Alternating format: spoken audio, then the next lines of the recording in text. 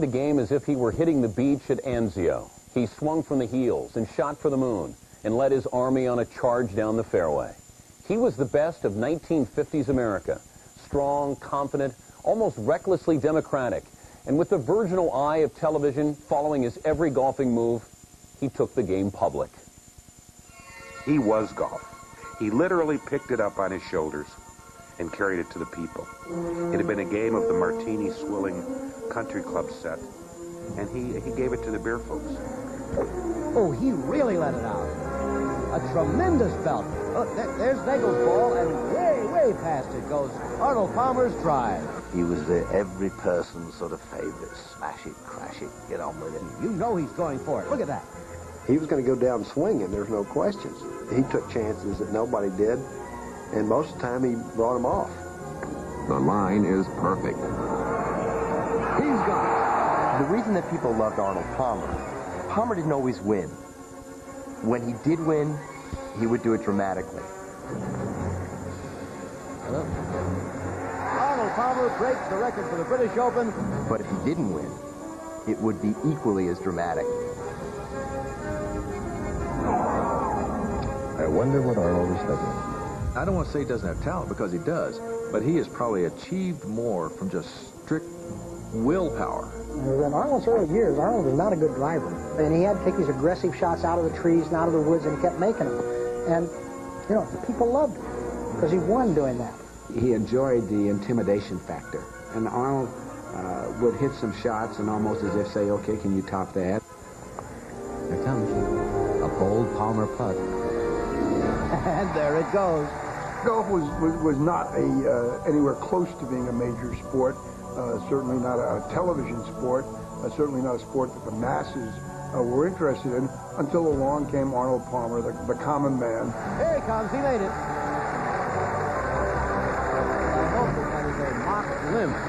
He looked more like a, a college halfback coming down the fairways than a golfer of previous days. The first shot we took of Arnold coming over the brow of the hill, and he walked up, flipped the cigarette, hitched up his trousers, drew up his nose, gave it a couple of snorts. That was his style, pure blue collar. Palmer's virile All-American image gained legions of admirers with each tournament. Some were fresh recruits for a hardcore contingent tabbed as Arnie's Army. It was exactly like playing with a rock star. I want to tell you, your ears were actually hurting you with all the screaming on the tees. I mean, I mean that. His popularity was gained by the fact that every spectator lining the fairway thought that Arnold Palmer was looking at them. This guy is standing at the edge of the green, and his wife's saying, he's coming, he's coming, he's right, and he's, the guy's getting a little angry. And he's saying, what is it with you? And she looked at him and she said, watch the way he hitches up his pants. I think Arnie's Army uh, was heavily populated by, uh, by females who thought that way. Knowing people are uh, rooting for you and are aware of what you're doing uh, always helped me. Uh, it always made me want to perform more. Arnold Palmer was the next step after Joe DiMaggio. It's about having a good time. It's about enjoying oneself. Uh, it's about being what seems like a full, open American man. He won his first Masters in 1958, but it was not until two years later at Augusta that he nailed down his role as golf's leading man. Down a stroke in the final round, he drained a 27-footer at 17 to tie.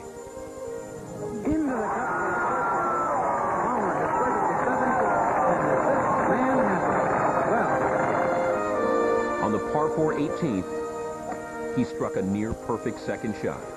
Here it comes with a five or a six iron. The ball on the green and within approximately three feet of the pin. A magnificent shot by Arnold Palmer. Arnold Palmer is the master of 1960. He has birdied the last two holes. With millions watching on TV, Palmer became an instant celebrity. Arnold Palmer.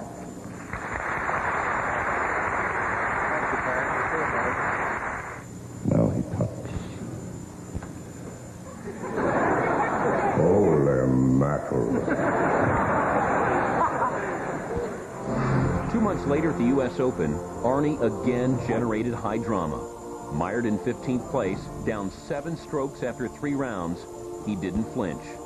After the morning 18, and a couple of newspaper friends is sitting there, and he asked one of his friends, a newspaper guy from Pittsburgh, he said, what'll it take to win this tournament? And the guy said, uh, well, forget about it. You haven't got a chance. Palmer said, watch me. He birdied six of the first seven holes, finishing the front nine with a record-tying 30. His 65 was good enough to win. Two strokes better than talented amateur Jack Nicklaus. The 1960 U.S. Open in Cherry Hills in Denver was is the epitome of Arnold Palmer. You know, driving the first green and charging back from seven strokes to win.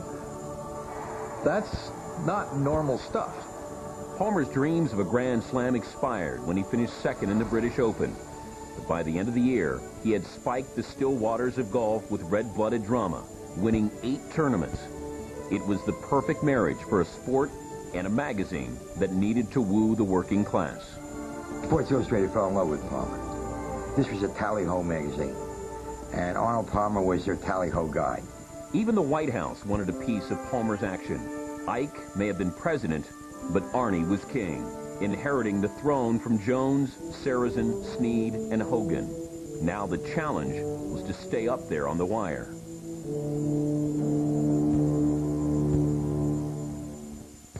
Sports Century's 50 Greatest Athletes is presented by Catera. Think Zig.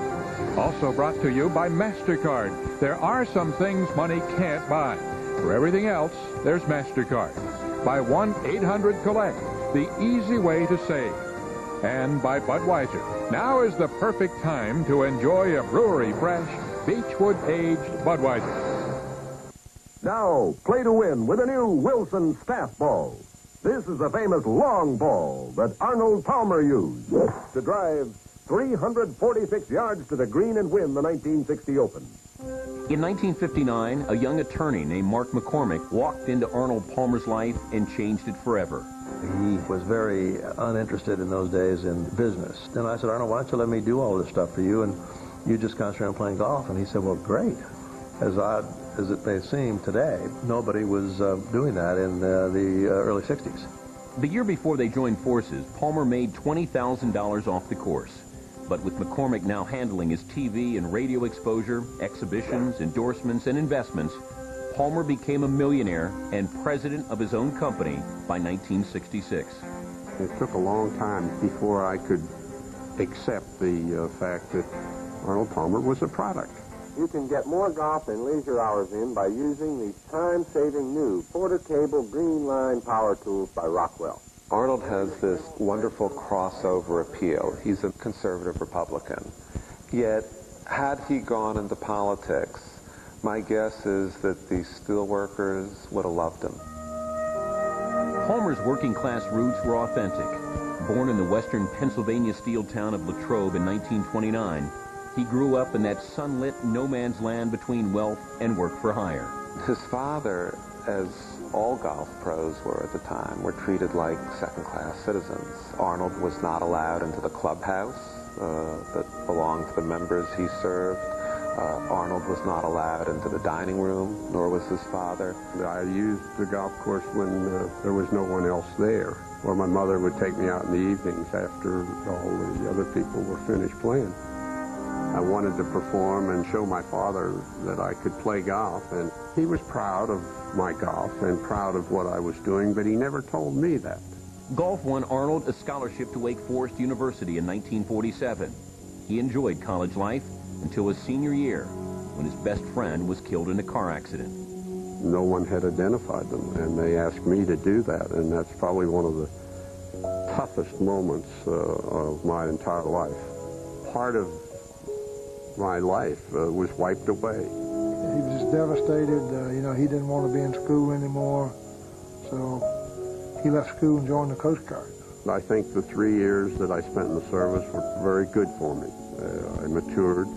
I got over a tragedy uh, and prepared myself for uh, the rest of my life. Fresh out of uniform, Arnold was back on the tees, winning the 1954 U.S. Amateur. And one of the most thrilling matches in the amateur's history goes to the 24-year-old son of a Pennsylvania golfing professional. On the wings of that victory, Palmer turned pro at 25. And while his game took shape, so did a public persona that found life while in the service. When Arnold was in college early, he was so competitive that we did not see his charisma. And Arnold's sense of humor was not obvious. Then after Arnold was in the Coast Guard, Arnold was exposed to Bob Hope and a number of celebrities.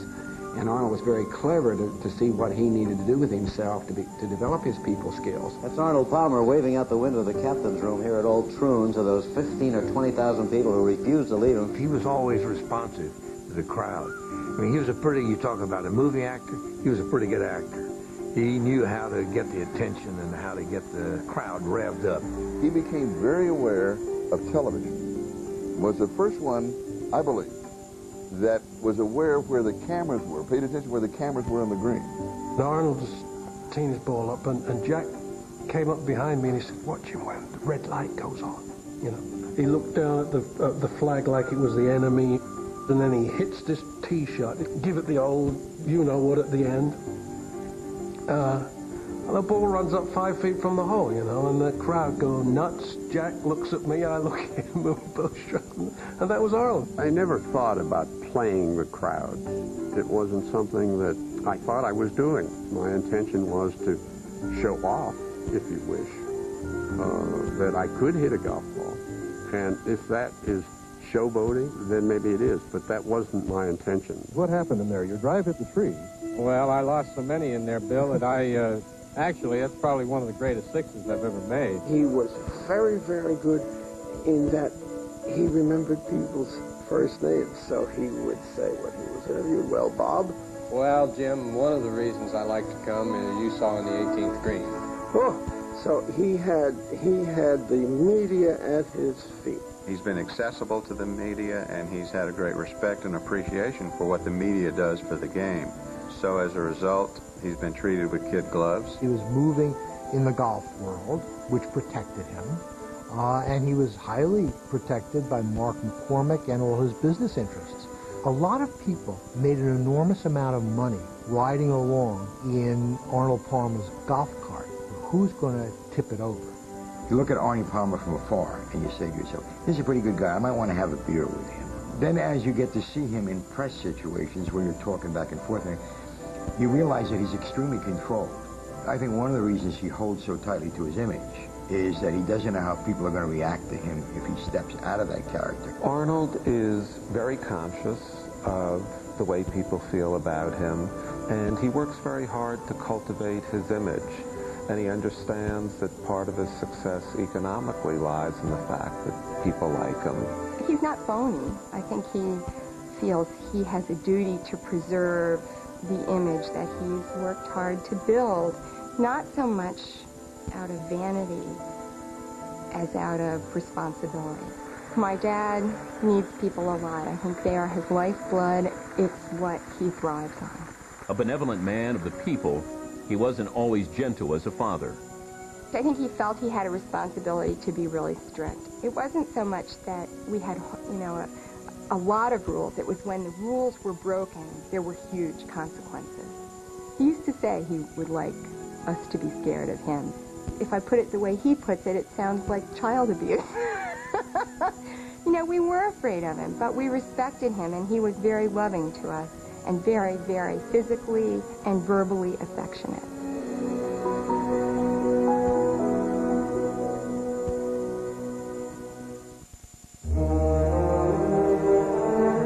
1962, a chink in Arnie's armor showed glaringly in the U.S. Open at Oakmont Country Club just outside of Pittsburgh. The challenge came in the callow, rotund form of a certain 22-year-old rookie. Here comes this young guy who everybody just started to call Fat Jack. How dare he challenge the king? Arnold Palmer is the king. In his own backyard. It was this Thanksgiving Butterball uh, who came walking out of Ohio State, and he looked like he had a down comforter thrown around his middle. I really didn't take him uh, seriously. I knew he was a good player. I knew he was going to be a factor. But I didn't uh, worry about that. Paired with the King for the first 36 holes, it was immediately apparent that the two-time U.S. amateur champ would not be intimidated. Here you have this rookie on the tour, Nicklaus, uh, uh, playing with this uh, with this godlike creature. Yeah, Nicklaus was so scared he started on the first day birdie, birdie, birdie. After two rounds, Nicklaus was three strokes off Palmer's pace, and Arnie's army was camped on every green. Every steel worker who had the day off in Pittsburgh came out to watch that tournament every day. They made noise, they hollered, they shrieked. It. When, when Nicklaus tried to putt, it was very distracting. When he'd line up for a putt and fighting down to the line against Palmer, one of Arnie's army would look would look over to him and say, "Miss it, fat guts." Good gracious! I mean, I'm here. I was a you know crew cut, overweight kid uh, knocking the ball 60 miles down the fairway, beating their hero. I wouldn't be very happy with him either. They gave Jack the business. He didn't like it. It was something that only motivated him, only pressed his button a little bit harder, made him want to play a little harder, and would have done the same for me. In the final round, Nicklaus made up two strokes, catching Palmer and forcing an 18-hole playoff. The King was in for a fight. I'm the champion. This kid's come in. I give you a couple of my best shots, and you don't even blink. You don't even go, oh, oh, oh, oh. I might have got something here that's a bit, uh, a bit hot to handle. Nicklaus took control early in the playoff and led by four shots after six holes. Despite a charge by Arnie and constant sniping by his army, the rookie sensation dealt the King an embarrassing loss. That was a bitter defeat for me. That was one that uh, that was in front of my folks in my hometown, and uh, and it hurt. In July, Palmer bounced back, winning the British Open with a record 276. Two years later, he became the first four-time Masters champion. But Nicklaus was charging, capturing the Masters in 65 and 66. The rivalry had grown personal. What do you think about tomorrow? Do you think you have uh, still in position to have a good chance to run at it, or what? Do you think you have a chance tomorrow? I think so. Well, I think I have a chance tomorrow. There was always a studied tolerance between them. When they spoke publicly, when one guy said something nice to the other guy, you, you're saying to yourself, he's saying this because he knows we're listening and he knows he's supposed to say it. They began to hear from each other's camp some of the things that they were doing. Arnold uh, getting up from the breakfast table and telling his buddies that, uh, with a big grin, hey, I'm going to go take my Nicklaus now. Or uh, if some of us happen to wear a, a Nicklaus shirt with the golden bear on it, Arnold would come up and he'd grab that and he'd say, what you doing wearing that pig on your shirt? Here is Arnold Palmer, the most beloved golfer of all time, who knows in his heart he's not the best. And he is Jack Nicklaus, who may very well be the best golfer of all time and known that he's despised despite his incredible talent because he overshadowed the beloved Arnie Palmer. Palmer began showing signs of slippage. In the 1966 U.S. Open, he blew a seven-stroke lead with nine holes left. A year later, he went into the last round tied for second, but lost by four strokes to Nicklaus. In late 1969, Sports Illustrated bid farewell to an era. Palmer never won another major. We are very competitive. We will always be competitive. And I don't think we would like each other if we weren't. I always said one thing. I says, you know, I may have had to fight Palmer's gallery, but I never had to fight Palmer. They became friends, and uh, they are still friends. There's still a little bit of a gap between them, and always will be.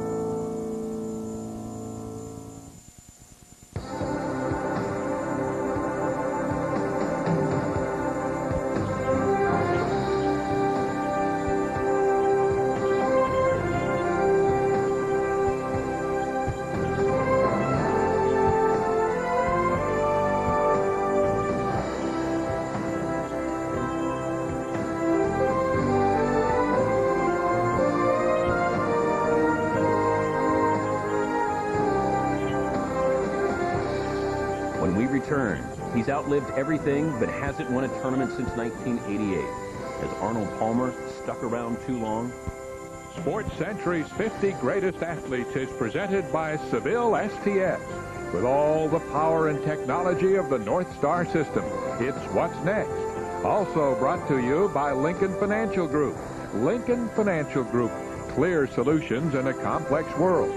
By Burger King, where you can have the delicious king of fries. Burger King, when you have it your way, it just tastes better. And by Nike. Arnold Palmer won seven majors, 60 PGA titles, and 10 senior events. When he reigned supreme in 1960, there were just over 6,000 golf courses in America.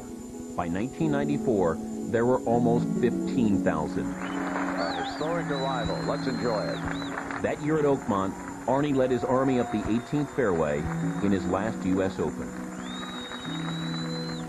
When you walk up the 18th and uh, you get an ovation like that,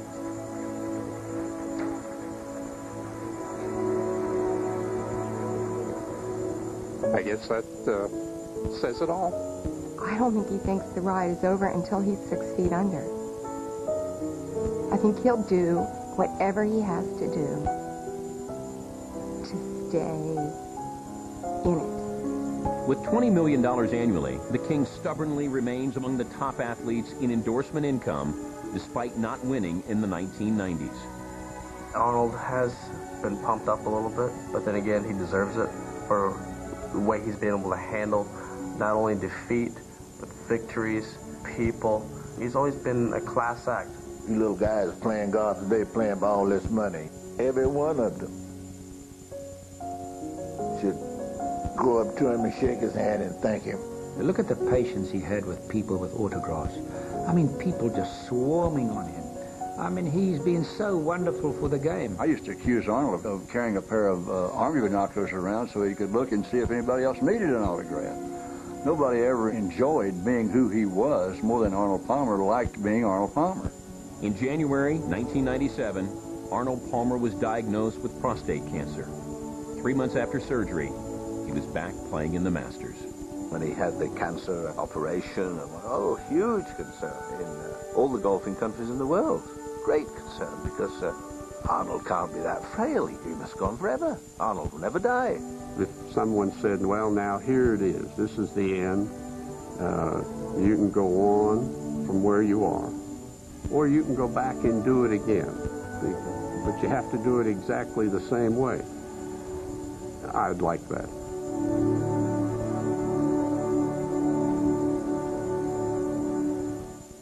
In the summer, Arnold lives in Latrobe, near the country club that once excluded his father from its inner sanctums, and young Arnie from the course when members were playing.